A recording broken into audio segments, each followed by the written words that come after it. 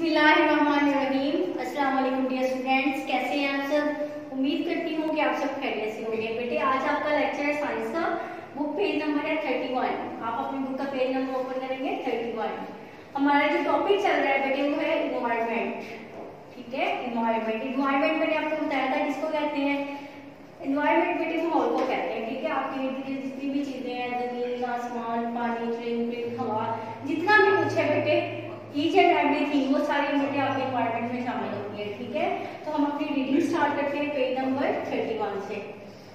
A and N environment के spell देखें E N B I R O N M E N T environment C A N can B E be and environment can be small S M A double L small ठीक है यहाँ पे उन्होंने बताया कि environment जो होती है बेटे छोटी भी हो सकती है छोटा सा इन्वायरमेंट ठीक है?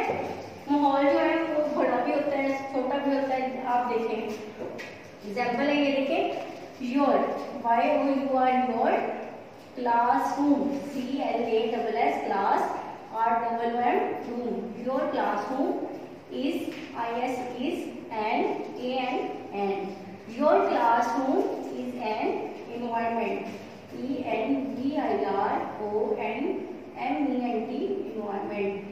Your classroom is an environment.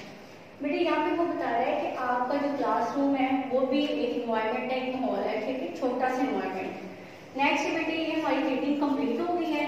आज हमने करनी है इसकी एक्टिविटी मिसिंग लेटर कल हमने की थी वर्ड्स मीनिंग आज हमने करनी है मिसिंग लेटर तो सबसे पहले हमारे पास जो वर्ड है, वो है इन्वायरमेंट अब इन्वायरमेंट के स्पेल चेक करें, इसमें हमारे पास बेटे आई मिस है। N